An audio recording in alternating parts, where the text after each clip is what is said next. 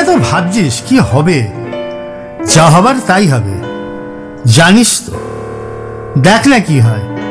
এত সাত পাঁচ ভেবে সময় নষ্টের মানে হয়? ধরে নে, তুই যা চাইছিস তাই হলো।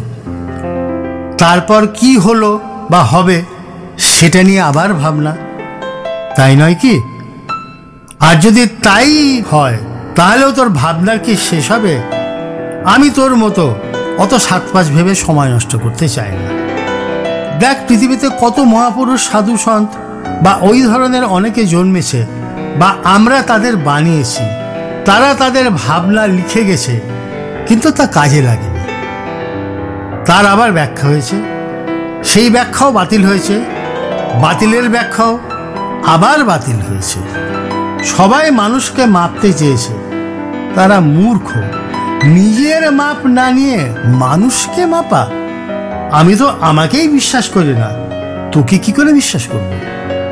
মানুষ তো নিজেকেই বিশ্বাস করে না।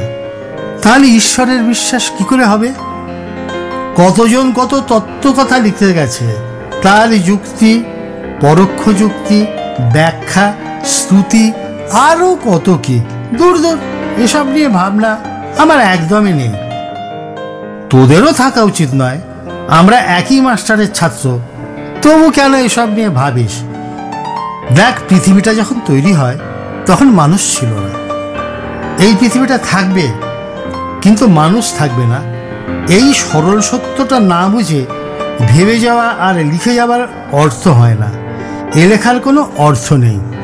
কারণ মানুষ থাকবে না, পড়বে কে?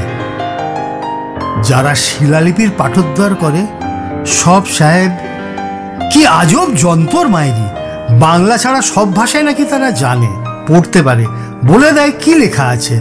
আর ওই আঁকি উকি গুলবাজি আমরা মেনে নিই।